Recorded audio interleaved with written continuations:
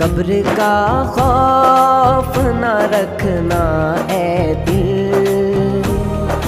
वहाँ सरकार के चेहरे की जियारत।